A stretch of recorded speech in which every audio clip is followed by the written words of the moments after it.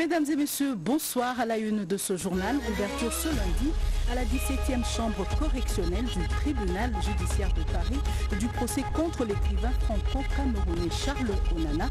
La première journée était consacrée à l'audition des témoins et accusés. Dès demain mardi, le gouvernement va débuter l'opération d'assistance aux victimes du naufrage du bateau MV Merdi sur le lac Kivu. Les derniers réglages ont été faits ce lundi à Goma avec tous les services concernés. Le combat de Mama Moulou aux côtés de son mari Simon Kimbangu, reconnu en dehors de nos frontières, une exposition d'œuvres d'art a été organisée à Bruxelles en Belgique. Mesdames et messieurs, grand est pour nous le plaisir de vous informer. Première session extraordinaire du Conseil supérieur de la Cour des comptes. L'ouverture des travaux a eu lieu ce lundi en présence du chef de l'État, Félix-Antoine Tshisekedi. Cette session marque une étape importante dans la gestion de la carrière des magistrats de la Cour de comptes. Reportage. Le Conseil supérieur de la Cour de comptes est en session extraordinaire. L'ouverture de la première session de l'Assemblée générale de cette institution supérieure de contrôle des finances publiques de la RDC a été présidée ce lundi 7 octobre à Fleuve Congo Hôtel par le chef de l'État, magistrat suprême Félix Antoine Tshisekedi Chilombo. Au terme de l'article 41 de la loi organique, le Conseil supérieur de la Cour de comptes est l'organe de gestion de la carrière des magistrats de cette Cour.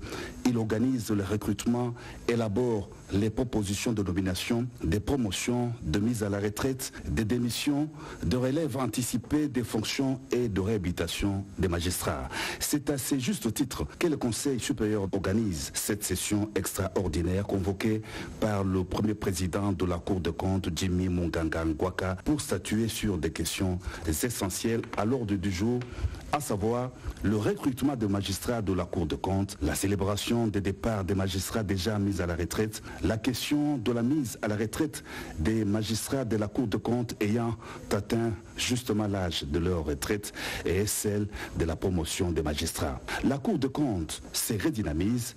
Le premier président Munganga a réitéré sa gratitude au président de la République Félix-Antoine Tshisekedi Chilombo pour avoir réhabilité cette Cour depuis son avènement à la magistrature suprême. Excellence, Monsieur le Président de la République, chef de l'État, magistrat suprême, avec l'expression de mes hommages réitérés. C'est aussi l'occasion pour moi de réitérer ma gratitude à votre Excellence, Monsieur le Président de la République, chef de l'État, magistrat suprême, qui a effectivement, dans le train de cette réforme, réhabilité la Cour des comptes.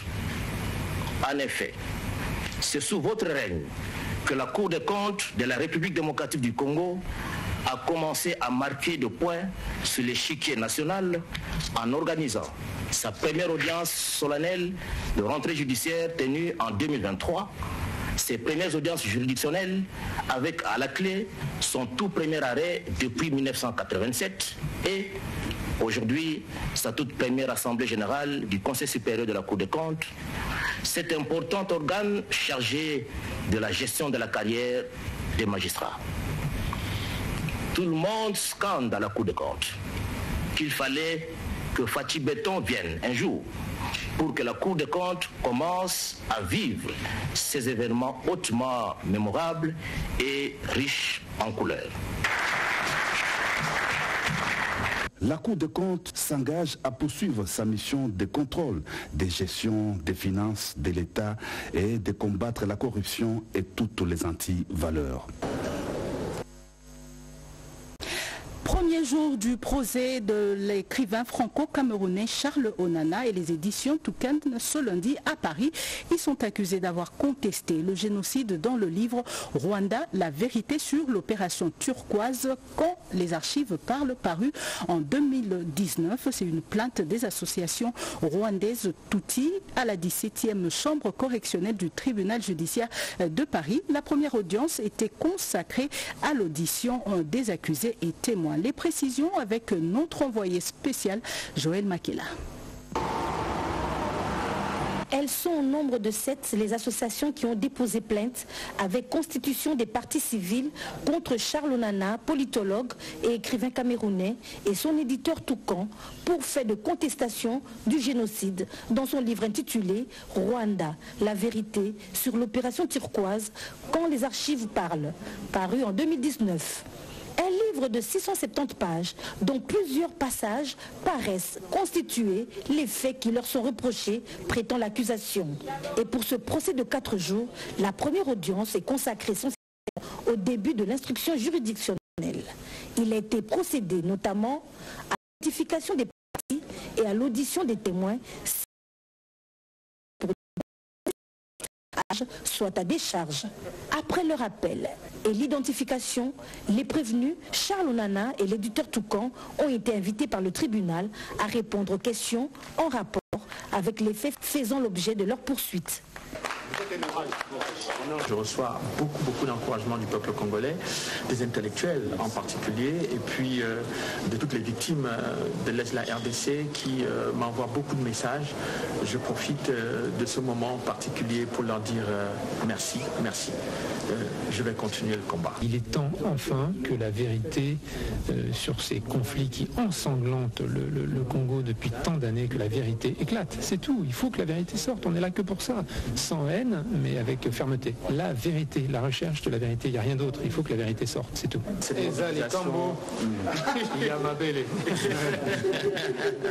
Il ressort de l'instruction de cette audience que les prévenus précités, dont il a été souligné le caractère néant de leur casier judiciaire, vont plaider non coupables. À ce stade du procès, les déclarations des partis prévenus préjugent de leur stratégie de défense. La RDC soutient le partenariat économique dans le secteur de l'énergie verte, pays solution dans la transition économique à cause de minéraux stratégiques dont il dispose. La première ministre Judith Souminois défend les intérêts de la nation en Allemagne où elle participe au sommet sur le développement durable. Reportage. Concentrée sur plusieurs urgences au pays, la première ministre Judith Souminoa Toulouka a dégagé du temps dans son agenda pour venir défendre les intérêts de la République démocratique du Congo, pays solution à la crise climatique qui envisage des partenariats économiques dans le secteur de l'énergie verte. Ouvert ce lundi en Allemagne, elle prend part active au sommet de Hambourg sur le développement durable. Cette conférence présidée par le chancelier allemand Olaf Connaît la participation d'une importante délégation des chefs d'État et hauts dignitaires de plusieurs pays. La participation de la chef du gouvernement congolais rentre dans la droite ligne des engagements du chef de l'État, Félix En matière de développement et de paix durable. Je suis venue parce que le président de la République euh, m'a demandé de le représenter dans cette conférence euh, qui concerne le développement durable de Hambourg. Et il s'agit pour les Allemands de pouvoir voir comment ils peuvent euh, renforcer leurs relations économiques avec l'Afrique, particulièrement dans le, dans le domaine de l'énergie verte. Comme vous le savez, en Afrique, nous avons la majorité des forêts et particulièrement en RDC avec près de 60%. Comme vous le savez, en Afrique, nous avons un certain nombre de minerais euh, euh, stratégiques, comme par exemple le cobalt en RDC, où on est le producteur de pratiquement euh, un peu plus de 60% euh, de ces minerais. Or, ces minerais aujourd'hui, ce sont des minerais qui sont utilisés, que ce soit le cobalt, que ce soit du lithium, pour produire des, batteries. Donc ce sont tous des éléments qui ont une importance capitale aujourd'hui pour l'Union européenne et particulièrement l'Allemagne. Cette conférence sert également de cadre de réflexion sur la mise en place d'une nouvelle architecture financière internationale pour contribuer plus efficacement à l'atteinte des objectifs de développement durable, ODD. Un des moments forts de cette conférence sera la signature du protocole d'accord sur la protection des forêts dans le cadre de l'initiative des forêts de l'Afrique centrale, CAFI. Cette coalition de bailleurs de fonds et de six partenaires africains, dont la République démocratique du Congo, vise à soutenir les investissements sur le terrain tout en offrant une plateforme de dialogue politique de haut niveau. En tant que géant forestier de la région subsaharienne, la République démocratique du Congo joue un rôle crucial dans la lutte contre la déforestation et la promotion d'un développement durable respectueux de l'environnement. Judith Subinoa Toluka interviendra donc dans les panels Forum du futur et l'architecture financière internationale équitable, soulignant ainsi l'engagement de son gouvernement envers le développement et la paix durable. Revenons sur le naufrage du bateau MV Merdi jeudi dernier sur le lac Kivu. Le vice-premier ministre, ministre de l'Intérieur, a présidé ce lundi une réunion à Kinshasa. Plusieurs mesures ont été prises, notamment l'ouverture des actions judiciaires pour établir les responsabilités. Bobo Anan Mokondi. Cette réunion du Conseil interprovincial de sécurité Nord et Sud Kivu, élargie aux députés et autres notables convoqués par le vice-premier ministre au ministre de l'Intérieur et Sécurité Jekme Chabani, a eu pour objectif faire la lumière sur la situation du naufrage survenu le 3 octobre dernier sur le lac Kivu. Plusieurs recommandations urgentes et immédiates ont été prises, notamment l'instruction au procureur général du Sud Kivu de mettre en mouvement l'action publique afin que les auteurs de cet accident répondent de l'exact. Les gouverneurs des provinces du Sud Kivu et du Nord Kivu sont instruits de prendre toutes les mesures sécuritaires et réglementaires en matière de navigation sur les lacs Kivu et Édouard et de les faire respecter strictement, notamment d'exiger le port des gilets de sauvetage à tous les passagers au bord des unités flottantes, le contrôle technique et de conformité des 10 unités. Son Excellence, M. Félix Antoine Tshisekedi, président de la République et chef de l'État, ayant appris la triste nouvelle du naufrage du MV Merdi, a dépêché une délégation gouvernementale pour présenter ses condoléances les plus attristées aux familles éprouvées. Les familles victimes ont été autorisées à procéder à l'enterrement de corps de leurs proches, retrouvés et identifiés conformément à leurs coutumes respectives. C'est, en attendant, le résultat des recherches de corps coincés dans ces navires. Une décision prise de commun accord avec les services impliqués de deux provinces. Notons que 58 rescapés internés dans les hôpitaux de la place sont pris en charge par le gouvernement. Toujours en rapport avec ce, naufrage sur le lac Kivu, les derniers réglages ont été faits ce lundi à Goma avec tous les services concernés. La ministre des Affaires sociales dispose de toutes les informations pour commencer la remise de l'assistance du gouvernement dès demain mardi. Edith Chala. Dans un drame comme le naufrage du MV Merdi, intervenu le 3 octobre dernier sur le lac Kivu, la prise en charge est multisectorielle. Du côté socio-humanitaire, accompagné de l'ambassadeur humanitaire Etienne Tshisekedi Chilombo, la ministre des Affaires sociales, l'Action humanitaire et Solidarité nationale Nathalie Aziz Amounana s'active pour ne pas remettre un détail. Avec le gouverneur du Sud Kivu, le professeur Jean-Jacques Porossi, le vice-gouverneur policier du Nord Kivu, le général Ekouka, et les services techniques, leur est à l'harmonisation des listes. 22 corps vont être rapatriés à Minova et 11 seront inhumés à Goma. Toutes les factures des soins de santé dans les hôpitaux Kichero et provincial sont supportées par le gouvernement de la République. Des vivres et non-vivres les accompagneront et les familles des victimes feront les deuils avec une enveloppe rendue disponible. Les représentants des familles venus des Minova ont aussi eu l'occasion d'échanger avec la ministre Nathalie Aziza Mounana sur les prochaines étapes dans les limites de son cahier des charges, à savoir l'assistance humanitaire et sociale. Les cercueils seront achetés et la question de nombreuses personnes venues des Minova pour suivre sur place à Kitutu les recherches des corps, dès l'heure que mènent les services commis, des dispositions ont été prises. Une convergence des vues manifeste s'est dégagée et comme elle l'avait promis à son arrivée, mardi le gros de l'assistance sera effective en attendant les évolutions de la situation qui suivent heure après heure les experts de l'intérieur, de la santé publique, de l'action humanitaire sans être exhaustif.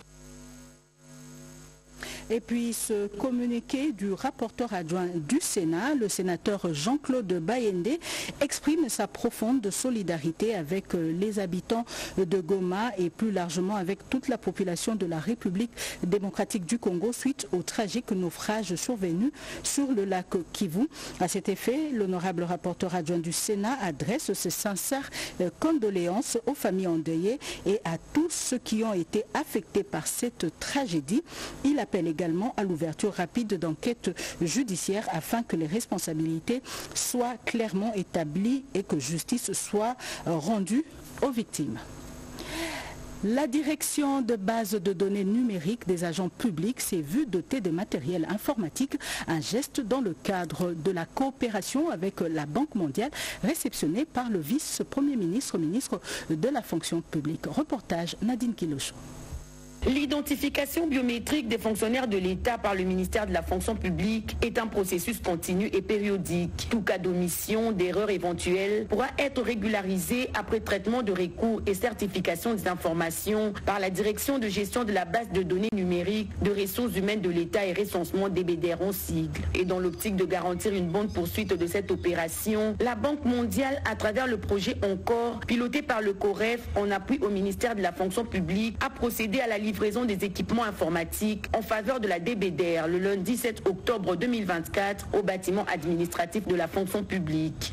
Les matériels qui sont ici acquis vont nous permettre de poursuivre l'assainissement du fichier des agents et fonctionnaires de l'État à tous les niveaux. Finaliser des processus au niveau du régime général avant d'entamer dans les prochaines semaines l'assainissement, l'identification biométrique des agents prestant simples services émergents au budget euh, Nous avons reçu une mission du président de la République et de la première ministre de redresser la situation. Et c'est sans trembler que nous allons devoir nous acquitter de ces devoirs. Après avoir réceptionné ces matériels informatiques, le vice-premier ministre, ministre en charge de la fonction publique, Jean-Pierre Liaou, a procédé à la remise auprès de l'administration par l'entremise de Madame la secrétaire générale aux actifs, qui à son tour les a transmis aux responsables de la DBDR. Ces appuis arrivent à point nommé pour parachever justement ces travaux d'identification biométrique à travers les impressions des cartes des fonctionnaires. Bénéficiant de ce matériel supplémentaire, la DBDR devra poursuivre sans désemparer les opérations de l'identification biométrique des agents de l'État dans tous les territoires de la République. Engagement des jeunes pour un meilleur développement urbain, c'est avec ce thème que le monde célèbre la journée de l'habitat ce lundi 7 octobre. Un message a été adressé à la population par le ministre de l'Urbanisme et Habitat. On l'écoute. Le thème mondial est l'engagement de la jeunesse pour un meilleur développement urbain. Le ministre de la Jeunesse, Noëlla Ayenagato, a invité la jeunesse à prendre à bras le corps le défi majeur face au thème national retenu, la jeunesse congolaise face au développement urbain. Le ministre de l'Urbanisme et Habitat Crispin Badou dans la quintessence de cette journée. 60% de cette population est constituée de jeunes. Et d'ici 2030, 70% de la dite population vivra dans les centres urbains au détriment des milliers ruraux qui ne feront que s'évider de leur population. Ces situations engendrent sans doute dans nos villes divers problèmes dont les principaux sont les suivants. Le chômage, la délinquance, la promiscuité, l'insalubrité et la construction des abris de fortune sans respect des normes urbanistiques Cet engagement du gouvernement central que dirige Judith Souminois, première ministre de la RDC, et à la vision du président de la République, Félix-Antoine Tshisekedi Chilombo, invite la jeunesse congolaise à participer activement à l'urbanisation durable pour la rénovation de villes et territoires.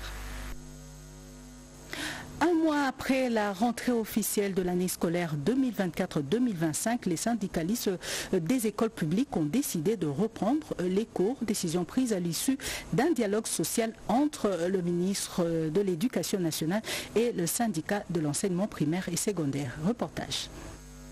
L'année scolaire 2024-2025 va finalement se poursuivre sans anicroche.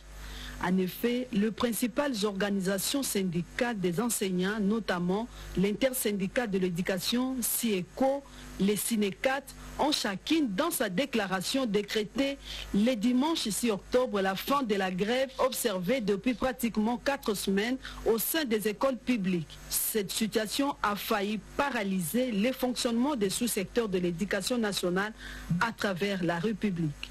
L'intersyndicale recommande aux enseignants et inspecteurs qui hésitent encore de rejoindre leur poste de travail dès ce lundi 7 octobre 2024.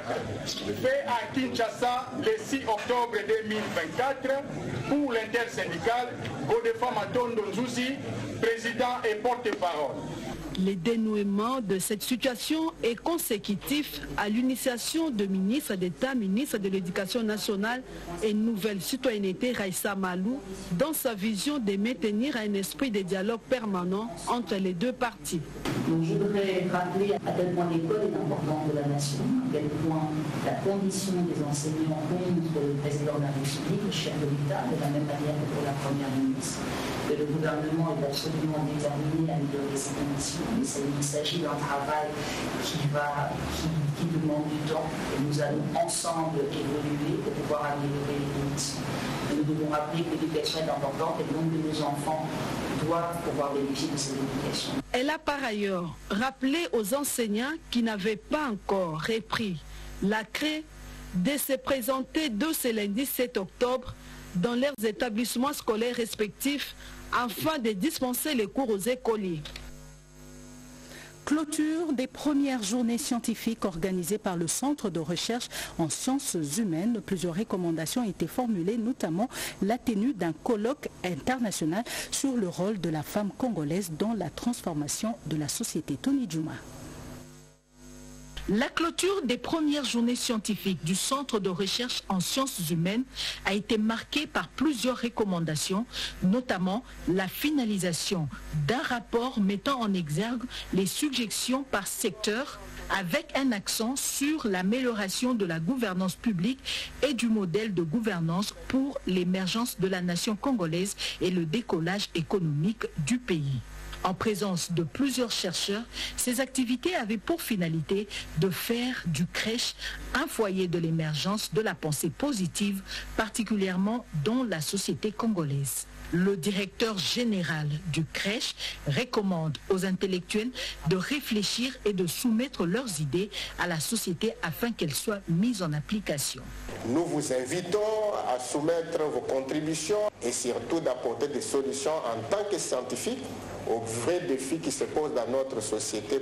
Pour sa part, le professeur Émile Bongili milite pour que les connaissances scientifiques en RDC soient inculquées en langue nationale.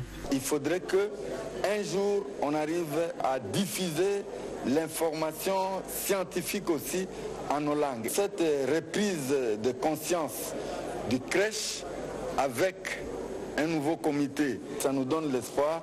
En mars 2025, le Centre de recherche en sciences humaines publiera un ouvrage pour la synthèse de ses travaux et organisera un colloque international.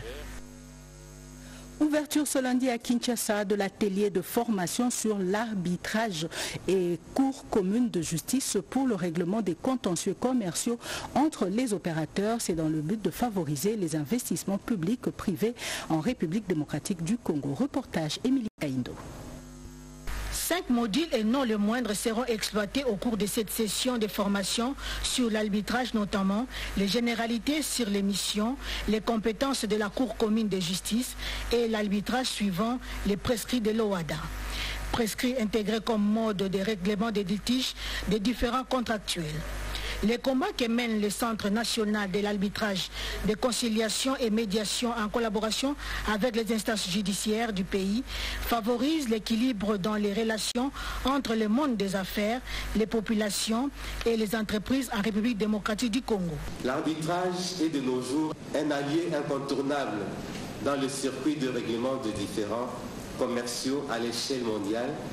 Autant elle s'est bâtie pour l'adhésion de notre pays à l'OADA, Notre fédération continue à s'investir pour une justice juste Le règlement des contentieux au regard des expertises, suivant la loyauté et l'impartialité dans lesquelles les Sénacom traitent les dossiers, ont été salués par les partenaires qui ont rassuré leur soutien quant à l'accompagnement de ces structures de l'État chargées d'arbitrage pour mieux assurer les règlements commerciaux en faveur des opérateurs économiques et la masse laborieuse dans le but d'encourager les investissements privés en République démocratique du Congo.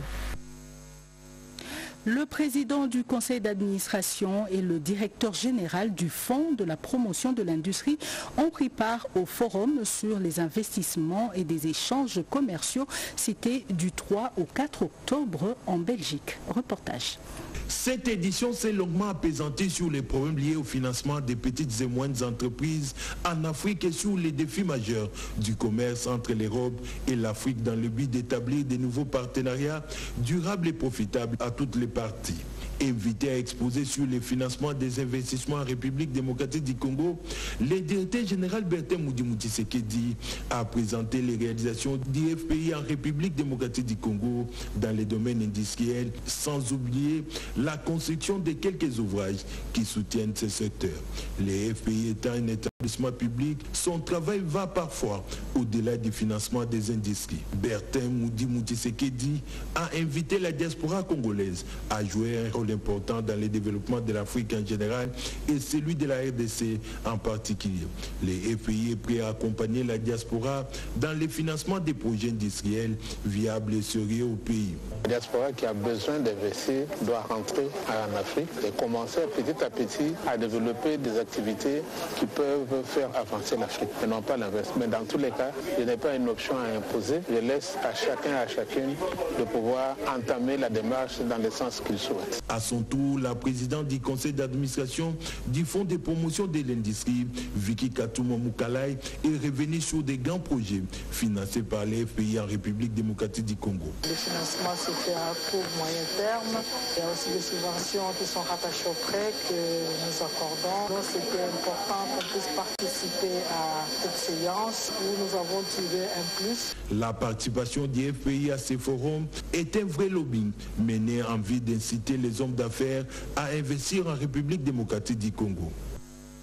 Nous l'avons dit au sommaire de ce journal, le combat et la mémoire de Maman Mouilou aux côtés de son mari Simon Kimbangu lui ont valu des mérites. Pour l'honorer, une exposition d'œuvres d'art a été organisée à Bruxelles en Belgique. C'est un reportage commenté par Rodé Panda.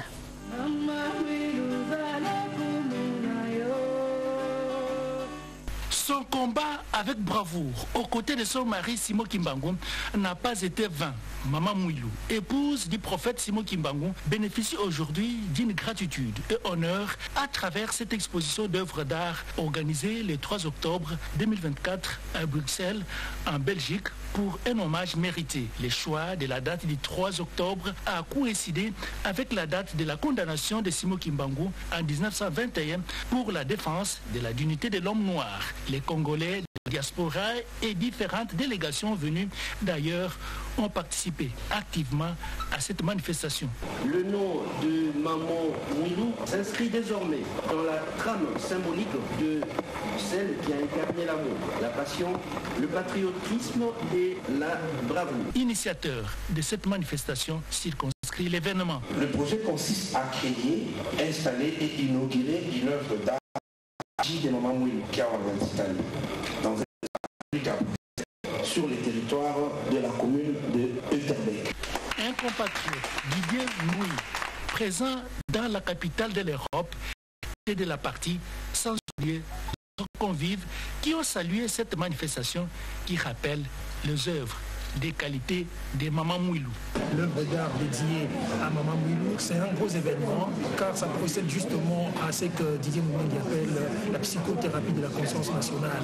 Voilà un des symboles du nationalisme congolais qui a été euh, très souvent méconnu et le RTNC justement contribue à sa visibilité. Cette exposition vaut une importance significative pour sa dimension culturelle et religieuse et retrace l'historique des œuvres d'art d'origine congolaise et africaine. En page internationale, sachez qu'il y a un an, jour pour jour, Israël vivait l'attaque la plus meurtrière de son histoire et le début d'une nouvelle guerre dans la bande de Gaza. Retour sur les faits avec Jacques Kabwaba. À l'aube du samedi 7 octobre 2023, jour des Shabbat, jour des repos pour les Juifs, des milliers de roquettes sont lancées depuis la bande de Gaza vers Israël. C'est le début de l'opération Déluge d'Al-Aqsa, lancée depuis l'enclave palestinienne, mettant fin à une trêve globalement respectée depuis la fin d'une guerre de cinq jours en mai de la même année. Des commandos des brigades El Al-Qassam, branche Hamas, mais aussi d'autres factions du djihad islamique, du Front démocratique de libération de la Palestine et les brigades des martyrs d'Al-Aqsa sortent à l'aide d'explosifs et des bulldozers de la bande de Gaza. Plus de 3000 d'entre eux s'infiltrent dans les sud d'Israël, dont certains à parapente motorisés. L'attaque est ainsi menée sur trois fronts. Des kibbutz, Kafar Akza, Beheri et Nir Oz, ainsi que de nombreuses localités alentours sont attaquées et leurs habitants froidement tués lors d'une opération massive et coordonnée. Plus de 1250 personnes sont assassinées, donc 815 civils et 36 enfants, des Israéliens, mais aussi des étrangers. Pour autant, les attaques simultanées du Hamas, souvent filmées par les assaillants, sont d'une violence inédite. Les pires jours pour le peuple juif depuis la Seconde Guerre mondiale. Débute alors l'opération Épée de fer.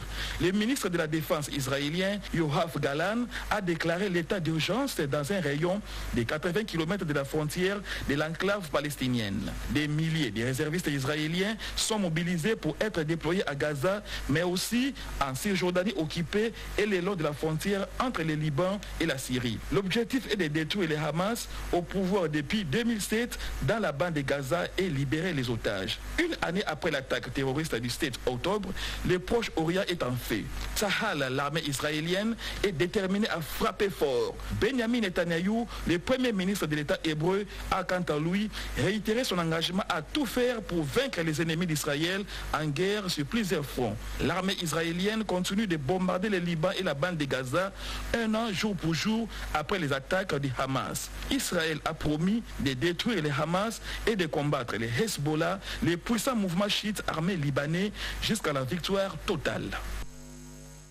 En politique, le district de la Tchangou choisi par le secrétaire général de l'UDPS pour lancer la campagne de sensibilisation sur la révision constitutionnelle. Augustin Kabouya appelle les Congolais à soutenir la démarche. Alain Bikaï. La jeunesse de l'IDPS Tchangou s'est mobilisée comme un seul homme derrière son président national, honorable Amissi Makutano, pour montrer la renaissance du parti cher à Félix Antoine Tshisekedi Chilombo après la traversée des ondes de turbulence. Dans une salle bondée, Amissi Makutano a appelé la jeunesse de son parti à l'unité, surtout à combattre les antivaleurs et à ne pas se laisser manipuler par ceux qui avaient trahi le docteur Etienne Tshisekedi Omulumba des mémoires. Devant la jeunesse lance du parti présidentiel, le président intérimaire Augustin Kabouya a annoncé le début de la campagne de sensibilisation sur la révision constitutionnelle.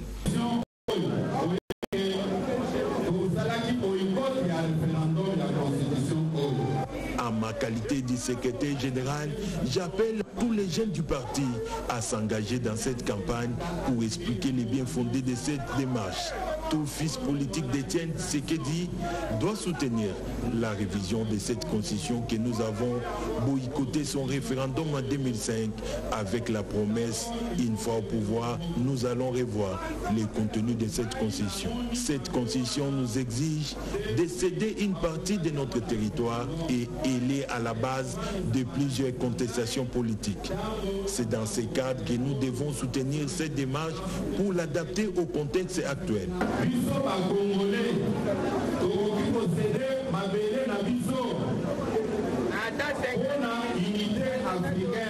Plusieurs manifestations en soutien à la révision constitutionnelle sont annoncées dans les jours à venir. Améliorer l'environnement de ses électeurs de Bandalungwa, le député provincial Jared Panzou a initié des travaux de curage des caniveaux et la rivière Makelele. Gaëtan Magalano habillé en t-shirt avec le Fiji de Patrick Mouyaya, ministre de la Communication, avec de choisibles marqués Jared Panzou, ils brandissent leurs outils de travail, signe d'une détermination pour lutter contre la salubrité dans la commune de Bandalungwa. À la tête de cette action, le député provincial Jared Ponzou, aux côtés du vice-bourgmestre de cette municipalité. L'assainissement de la commune de Bandalungwa nous préoccupe au plus haut point. Ce jour, nous avons décidé, nous, de nous mobiliser. Nous avons sensibilisé les jeunes de la commune de Bandalungwa, nos électeurs, pour joindre nos forces à ce que c'est fait déjà au niveau de la ville pour l'assainissement de notre commune. Et c'est ça d'ailleurs l'avantage d'avoir euh, des députés jeunes qui ont une certaine proximité avec la base. Parce qu'on a l'habitude de voir les députés s'envoler. Mais là, on a quelqu'un qui, qui n'a pas oublié d'où il vient. Et ça nous arrange, ça nous motive. Sur la rivière Makelele, ces tracteurs fait le bonheur de ces dames qui mentionnent ce qui suit. En tout cas, le lot Monique honorable Nabiso Jarel a quitté sur le terrain. Curage de caniveau et rivière arrive Dacom devant l'hôpital Sébéco aussi même. Le célèbre bloc de Bondal n'a pas été épargné par cette volonté d'améliorer l'environnement de ses électeurs.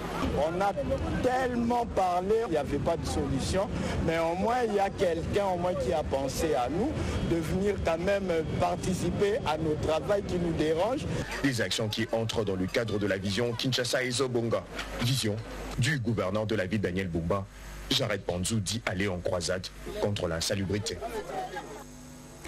En nouvelle, l'éducation à, la petite enfance, une priorité pour les sociétés. C'est l'objectif de la cinquième édition du Forum des femmes leaders ouvert aujourd'hui à Bujumbura sous le thème Investir dans la petite enfance pour bâtir un capital humain solide tout au long de la vie.